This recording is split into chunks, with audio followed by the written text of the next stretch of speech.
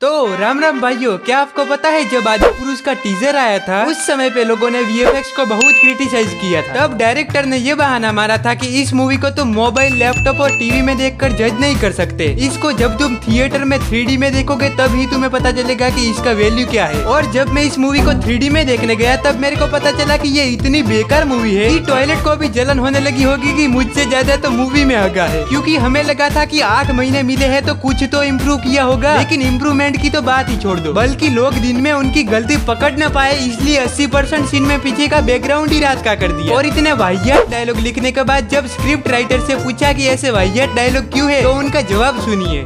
तेल तेरे बाप का, आग भी तेरे बाप की और जलेगी भी तेरे बाप की। अब ये ये जो डायलॉग है, जो हनुमान जी ने कहा है लंका दहन के सीक्वेंस में तो लोग कह रहे हैं ये बहुत एक तरह से भड़कालू है और ओवर सिंप्लीफाइड है। क्या हनुमान जी ऐसी भाषा का कभी प्रयोग कर सकते हैं? मैं एक छोटे से गाँव से आया हूँ।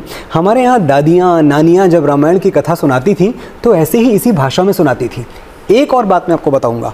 ये जो डायलॉग जिसका आपने ज़िक्र किया, ये डायलॉग इस देश देश के संत इस देश के बड़े बड़े कथावाचक ऐसे ही बोलते हैं जैसा मैंने लिखा है। I am not the first one to write this dialogue पहली बात तो मुझे मेरी दादी ने और नानी ने इस तरीके से रामायण को कभी नहीं सुनाया। यहाँ तक कि जो सुनाते हैं, वो अपना खुद का फिक्शनल सुनाते हैं। और जो तुमने बनाया है, वो रियल घटना पर आता है। इतना भी दिमाग नहीं है क्या? छोटी बच्ची हो क्या?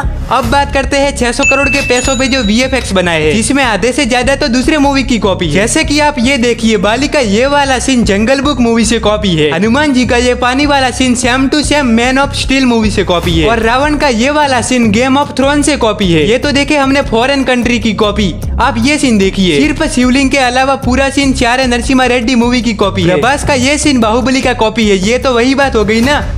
मेरा माल चुरा कर मेरे कोई बेचता है? अब बात करते हैं कैरेक्टर डिज़ाइन और डेवलपमेंट की। मेरे को एक बात बताओ प्रभास, की ये नकली बॉडी लगाने की क्या ही ज़रूरत थी? ऐसा तो नहीं था कि हम ओरिजिनल बॉडी को एक्सेप्ट ही नहीं करते। इससे अच्छा तो ट्रिपल आर के सिर्फ़ क्लाइमैक्स में रामचरण जितना श्री राम के कैरेक्टर में घुसे थे, वो इस मूवी से कई गुना अच्छा है। और लक्ष्मण की तो क्या ही बात करूँ? लक्ष्मण से पूरी मूवी में उतने रिएक्शन नहीं निकले जितना नेहा कक्कर एक बार रोती है, उसमें निकलते हैं।